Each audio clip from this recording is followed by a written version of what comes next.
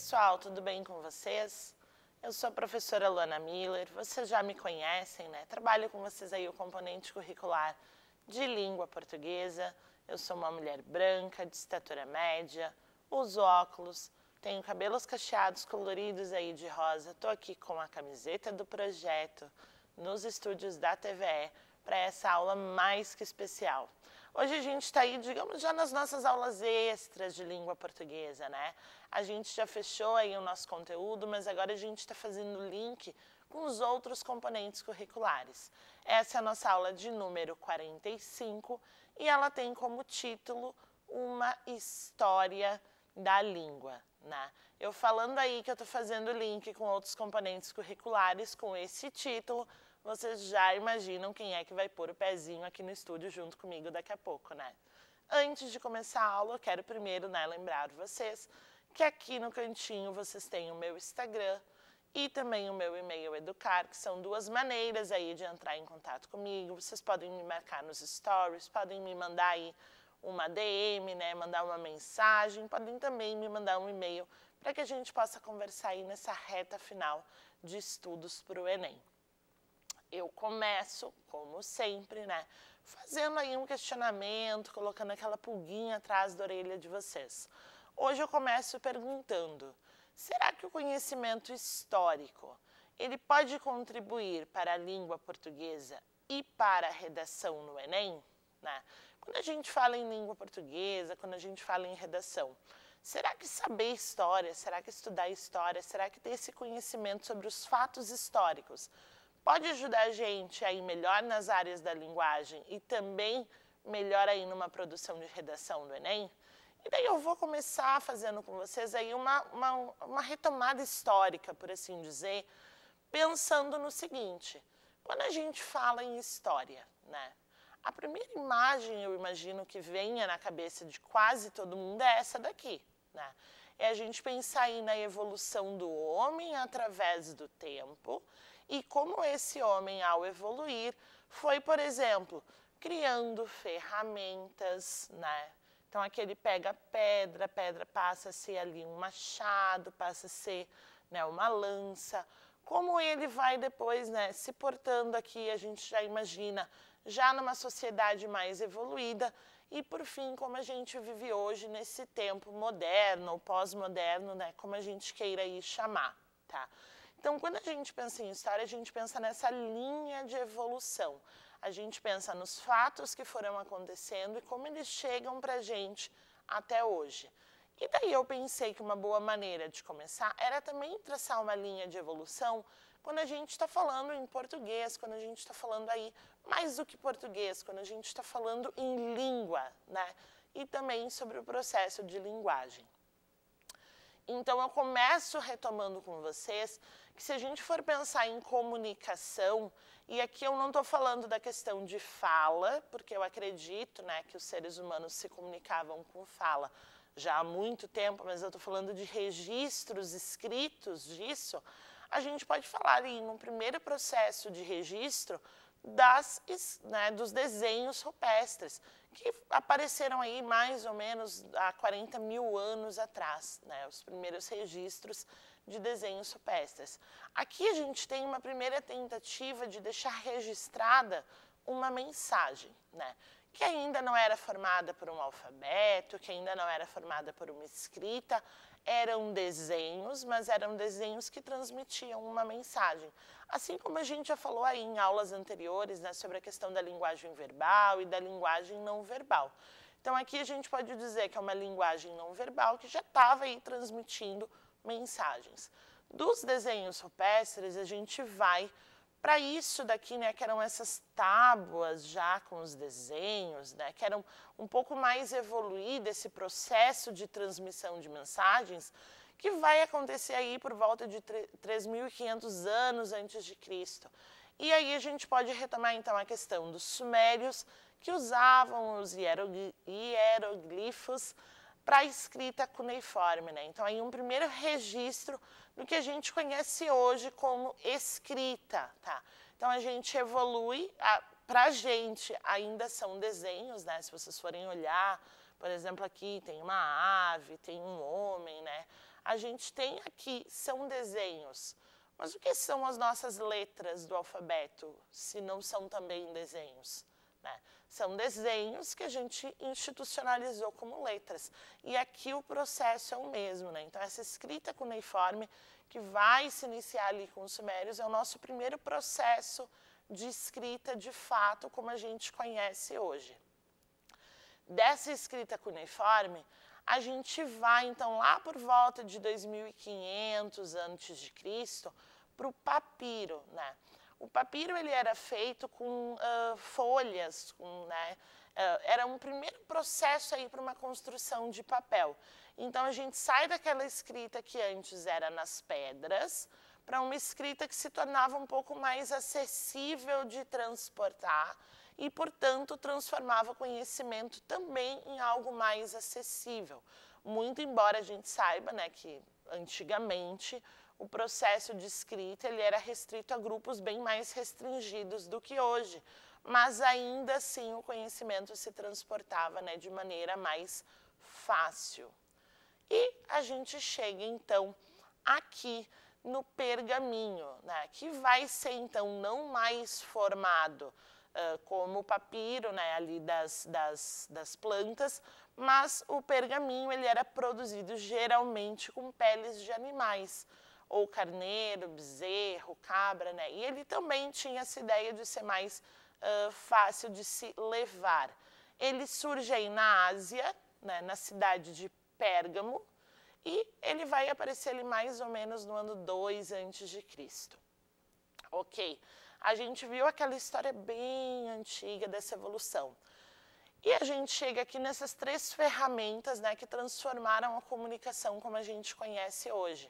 Eu já falei com vocês aí em uma aula anterior sobre a questão da prensa aí de Gutenberg, né? Essa prensa é aquilo que produziu, fez com que a produção de escrita se, se tornasse mais fácil e mais rápida, entre aspas, né? Porque se a gente pensar no processo hoje, é um processo muito demorado, mas para a época ele era muito mais rápido do que a escrita convencional. Aí a gente vai ter um, alguns, muitos anos depois, por exemplo, a criação das máquinas de escrever, eu trouxe essa porque é uma imagem idêntica a uma que eu tenho em casa, tá? E aí a máquina de escrever, ela torna ainda mais rápido esse processo de escrita, de formação de conhecimento e também de divulgação de conhecimento. E muitos, muitos dos livros que a gente lê hoje, inclusive aí de modo online, né, em PDFs, a gente uh, tem essa escrita dos livros lá nas máquinas de escrever. Né? Então foi uma tecnologia aí que revolucionou a escrita da época até a gente chegar hoje aqui, então, nos nossos computadores, seja o computadores de mesa, seja aí os notebooks, né, que são fáceis de transportar também. E com acesso à internet fazem com que a comunicação se divulgue de uma maneira muito mais rápida, tá? Então aqui a gente tem uma breve história da evolução da linguagem, das línguas e como elas uh, foram aos poucos se tornando mais fáceis de se popularizar. E daí eu trago aqui para vocês uma questão do Enem 2010, tá? Vamos dar uma lida nesse texto. Por volta do ano 700 a.C., ocorreu um importante evento na Grécia, o alfabeto. Com isso, tornou-se possível o preenchimento da lacuna entre o discurso oral e o escrito. Esse momento histórico foi preparado ao longo de aproximadamente 3 mil anos de evolução e da comunicação não alfabética até a sociedade grega alcançar o que Havelock chama de um novo estado de espírito, o espírito alfabético, que originou uma transformação qualitativa da comunicação humana. As tecnologias da informação com base na eletrônica inclusive a imprensa eletrônica, apresentam uma capacidade de armazenamento. Hoje, os textos eletrônicos permitem feedback, interação e reconfiguração de texto muito maiores e, dessa forma, também alteram muito o processo da comunicação. Né? Então, aqui a gente tem um texto falando aí sobre desde a escrita do alfabeto até esses textos que a gente pode voltar e editar e escrever, né? e como eles mexem com o processo de comunicação. O que, que pede a nossa questão? Com o advento do alfabeto, ocorreram ao longo da história várias implicações socioculturais. Com a internet, as transformações na comunicação humana resultam. Ok, vamos destrinchar a questão aí. A primeira parte dela fala que, com o surgimento do alfabeto, a gente tem né, imensas uh, consequências socioculturais.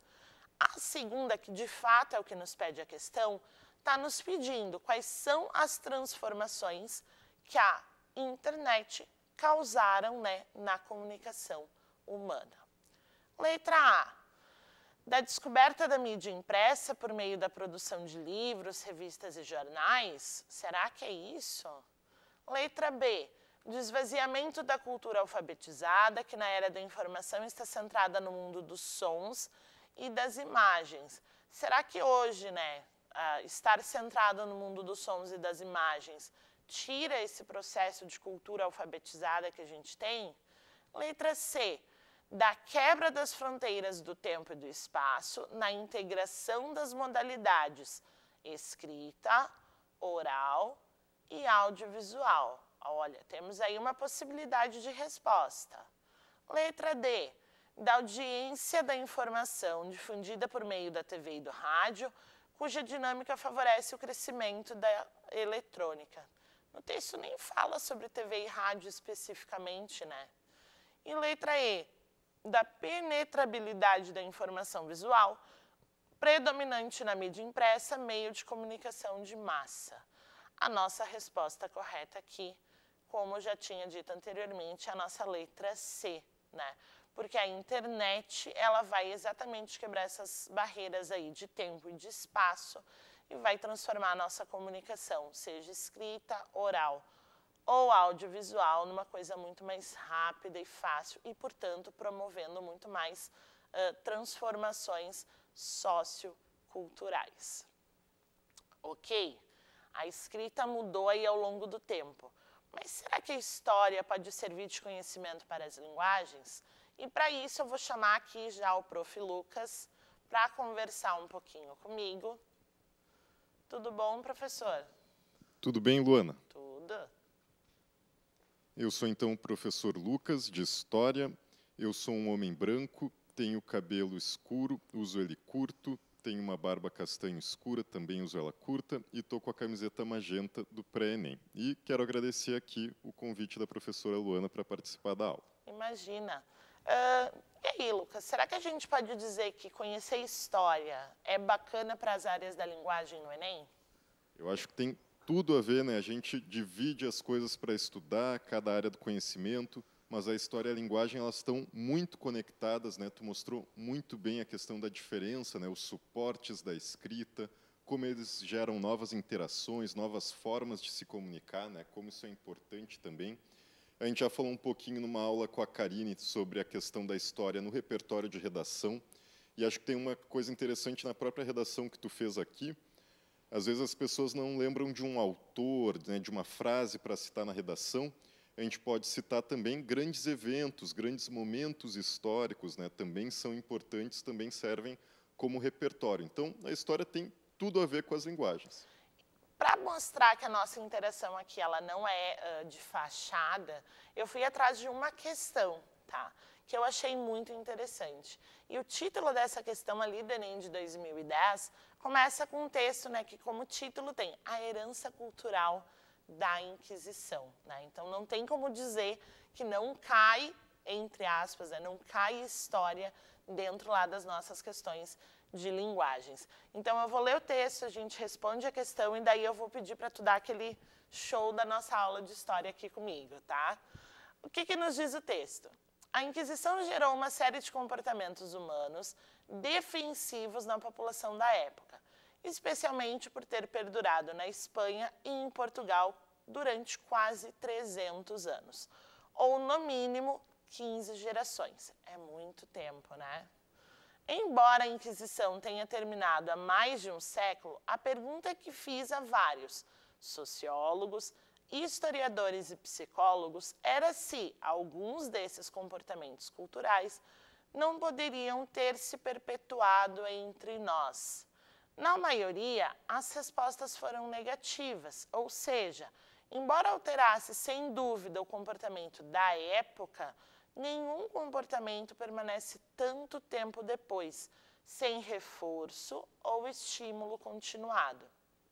Não sou psicólogo, nem sociólogo para discordar, mas tenho a impressão de que existem alguns comportamentos estranhos na sociedade brasileira e que fazem sentido se você os considerar resquícios da era da Inquisição. Né? Então, aqui a gente tem um texto falando sobre comportamentos que ainda permanecem né, com a gente hoje e que seriam resquícios aí do que aconteceu lá na Inquisição. O que, que nos pede a questão?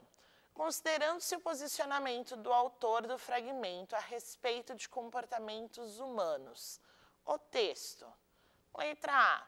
Ele enfatiza a herança da Inquisição em comportamentos culturais observados em Portugal e na Espanha. Não, né, gente? Ele fala que a Inquisição aconteceu na Espanha, mas ele não vai dizer que esses comportamentos ainda acontecem hoje nesses dois lugares. Não é sobre isso que o texto fala. Letra B. Contesta sociólogos, psicólogos e historiadores sobre a manutenção de comportamentos gerados pela Inquisição. Temos aí uma possível resposta. Vamos olhar as outras. Letra C. Contrapõe argumentos de historiadores e sociólogos a respeito de comportamentos culturais inquisidores. Vamos ver se é essa também. Letra D. Relativiza comportamentos originados na Inquisição e observados na sociedade brasileira. Não é sobre isso, né? Ele não está relativizando. E letra E. Questiona a existência de comportamentos culturais brasileiros marcados pela herança da Inquisição. A nossa resposta aqui vai ser a letra B quando ele diz lá no texto, não sou sociólogo, não sou historiador, não sou psicólogo, mas eu acho que tem alguma coisa errada acontecendo aqui, ele está dizendo o quê? Esses, nessas pessoas, esses estudiosos dizem que não, que os comportamentos da Inquisição estão lá na Inquisição. Mas, se a gente for pensar em coisas que acontecem no nosso dia a dia ainda hoje, a gente vê resquícios destes comportamentos. E daí, é bom para a gente saber né, se isso é verdade ou não, ter o conhecimento histórico do que foi a Inquisição. Né? E daí eu vou deixar para te falar um pouquinho aí para gente sobre esse processo aí de Inquisição. Muito obrigado, Luana. A Inquisição, então, é interessante, ela realmente surge, né, o Tribunal do Santo Ofício, como ela também é chamada, na Idade Média, no finzinho ali da Idade Média, principalmente para combater heresias, né, e o movimento dos cátaros, um movimento ali no sul da França que discordava, né, da, dos preceitos religiosos da Igreja Católica. Então, qualquer desvio, qualquer pessoa que acreditasse, que falasse algo que fosse diferente do que era pregado pela fé católica, podia ser perseguida pela Inquisição. Mas ela surge inicialmente para combater esse movimento específico. Depois ela vai se expandir um pouco, né? vai começar a ter uma certa vigilância mais pessoal, né, do que as pessoas falavam, não só de um movimento, né, de um grande grupo de pessoas, mas é interessante a gente ressaltar também que a Inquisição é muito característica do período moderno. Ela segue depois da Idade Média e ela só vai terminar ali no século XIX. E essa caça às bruxas, né, como algumas pessoas também chamam a Inquisição, também vai ser mais marcada do período moderno, do final da Idade Média, ali no século XV, século XVI, XVII, XVIII, e ela não vai ficar só na Europa. Vai ter Inquisição na América também. Né? Nos Estados Unidos tem a caça às bruxas, e aqui no Brasil também tem a Inquisição, mas ela vai perseguir também, principalmente, uh, o que aparece na nossa sociedade da religiosidade indígena, das religiões de matrizes africanas e também de judeus convertidos que vieram para cá.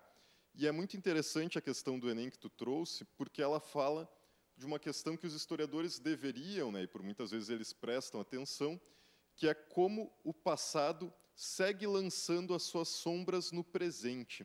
Então, os acontecimentos históricos, eles não ficam reclusos no seu momento, né, que eles aconteceram lá no passado. A gente ainda segue sendo influenciado por esses eventos. Né? Então, aquilo que ele chama atenção é muito interessante para a gente prestar atenção, perceber como tem costumes, como na nossa cultura ainda tem muito daquilo que aconteceu há muitos séculos atrás. Eu ouvi falar uma vez até sobre a ideia do pêndulo, né?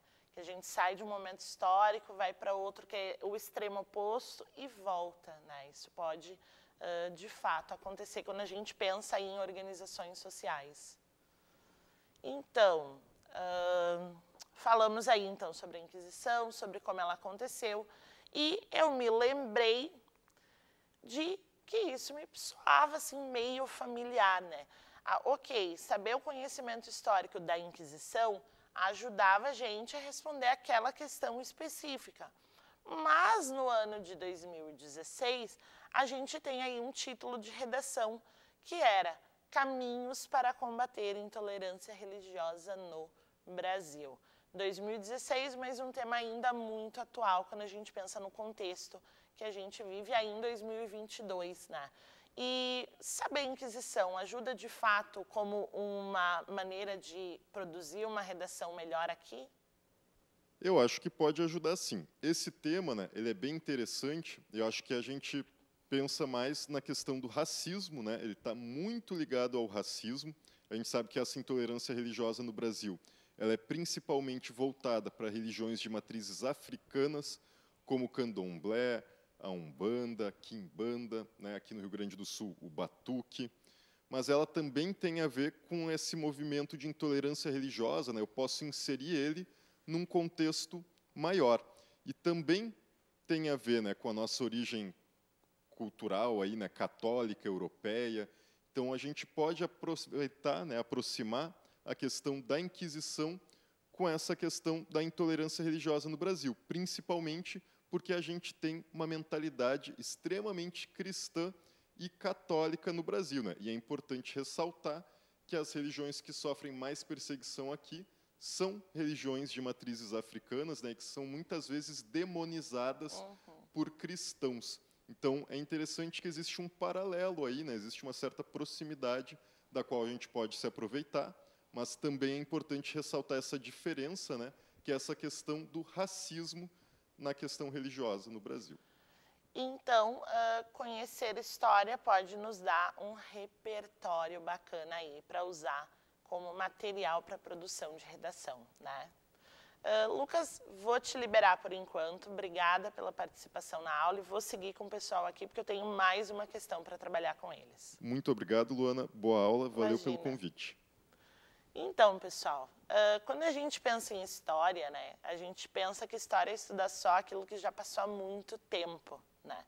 E aí eu pergunto para vocês, estudar história, né, é estudar só coisa antiga? E uh, eu lembrei de uma questão aí do Enem de 2013 que falava sobre Twitter, que é uma coisa bem recente, né? E aí vocês vão entender o link que eu vou fazer com vocês. A nona edição do Simpósio Internacional de Contadores de História promove concurso de microcontos baseado no Twitter. Os interessados devem ter uma conta no Twitter, seguir o arroba simpósio-conta e escrever um microconto de gênero suspense com tema livre. O conto deve seguir as regras do Twitter, apenas 140 caracteres. Hoje já foi atualizado esses caracteres, mas lá na época da escrita era assim. O que, que nos pede a questão? Na atualidade, o texto traz uma proposta de utilização do Twitter como ferramenta que proporciona uma construção rápida, sintética e definida pelo gênero suspense. Isso demonstra que essa rede social pode ser uma forma de inovação tecnológica que, Letra A, define uma dinâmica diferente de construção do texto, condensando as ideias principais sem perder a criatividade. Letra B, caracteriza um texto de tema livre, no qual o número de caracteres importa mais que a criatividade do autor? Estranho, né? Letra C, conceitua uma nova vertente de texto, na qual a rapidez supera o enredo e as outras características? Também não. Letra D, propõe um novo traço à escrita, pois garante a eficiência dos processos de comunicação. Não é porque é pequeno que é eficiente. Letra E, considera que a utilização da escrita com caneta e papel seja primitiva para os dias atuais. Nem se falou isso ali ao longo do texto. A nossa resposta aqui correta seria a letra A, dizendo que é um texto diferente da, da sua forma dinâmica, por ser pequeno, condensado, mas pelo fato de ser pequeno, a gente não exclui aí a criatividade dessas produções. E daí, né, também me soa familiar o Enem 2011, cuja redação era Viver em Rede no século XXI, os limites entre o público e o privado. E essa ideia de que a gente posta tudo aí nas redes sociais.